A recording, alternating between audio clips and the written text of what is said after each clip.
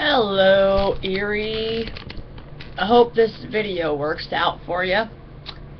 Well, I don't look so good on this video. I look better in the mirror. anyway, I love you, Erie. Actually, I love whoever's watching this, because I'm sure there's people all over the world watching this video right now. And I just wanted to say believe in yourself, okay? Love yourself. I believe in you, but when you believe in you, then, then that's the real money. Believe in yourself. Follow your dreams, okay? Let me tell you something. This whole thing is about following your heart. It's about believing in yourself.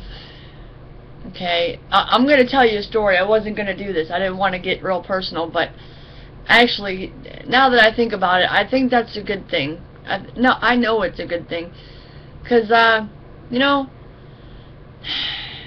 I really can't afford to be too, um, I don't know what the word is, secretive or, uh, ugh, closed off or whatever anymore. I just, and I just don't want to, you know? I'm me, okay? And when I was a kid, I remember I was different from what I am now, but not much.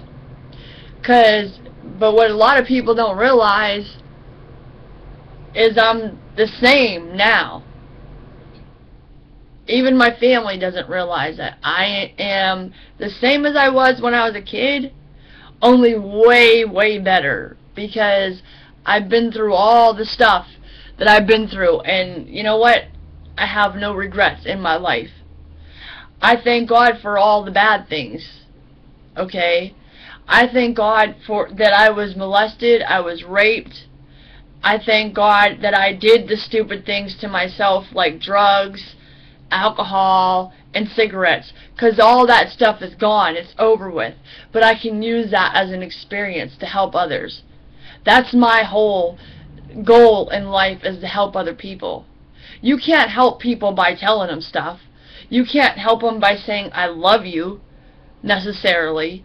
You can show them that you love them, but you can't help them by saying, you can do it, I believe in you usually that doesn't help people. They have to see you doing the things that you know that you can do.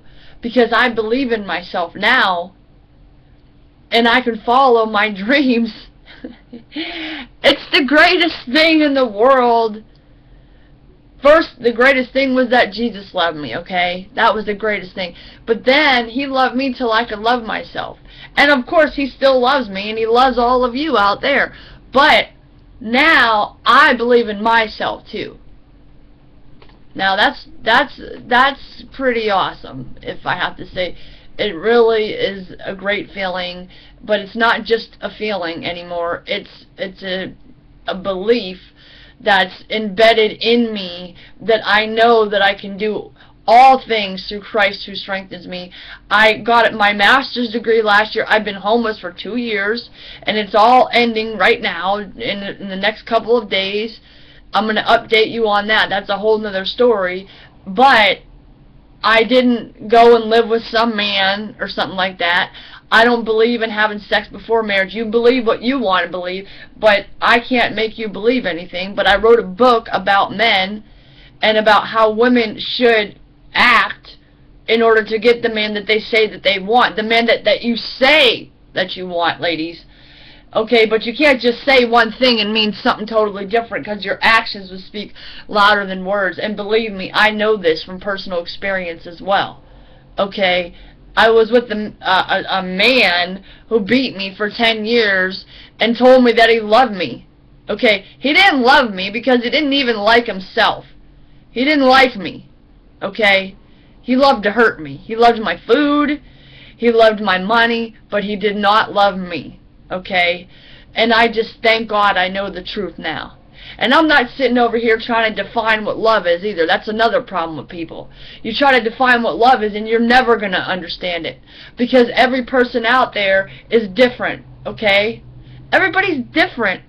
We all are special, but we all show love in different ways. Okay?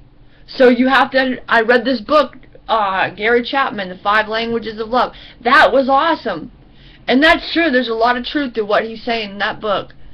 But I just want you to know, people, ladies, gentlemen, kids, everybody, believe in yourself because there's no limit to what you can do. Once you know that you belief in yourself and just act accordingly. Don't even think about what might not happen or what might happen. Just know the results that you want to get and then just go after it. Okay? Because you can do it, and I do believe in you. And I do love you. I don't know all of you, and there's certain people out there that are special to me, of course. I'm human, I'm not God, okay? But there's some special people to me out there, and you know who you are, hopefully. If you don't, send me an email, and I'll tell you. But I love you people, and I want you to love yourselves and go after your dreams. And this maybe this is a little bit too long. It's a little over six minutes. But I hope you're still listening. And just follow your dreams and keep watching. Keep watching me, okay? Because I'm going to surprise you. Alright? And please, feel free, drop me an email. I don't know how to put those things in the, you know, I can barely upload a video at this point.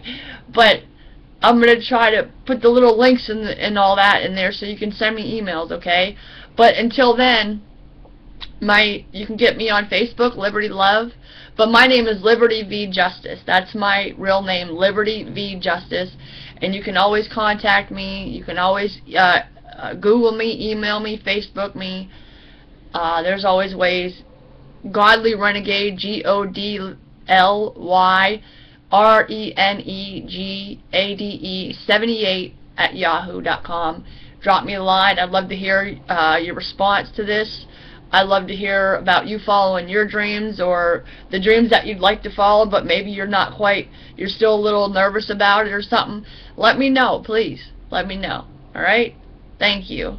Thank you for watching.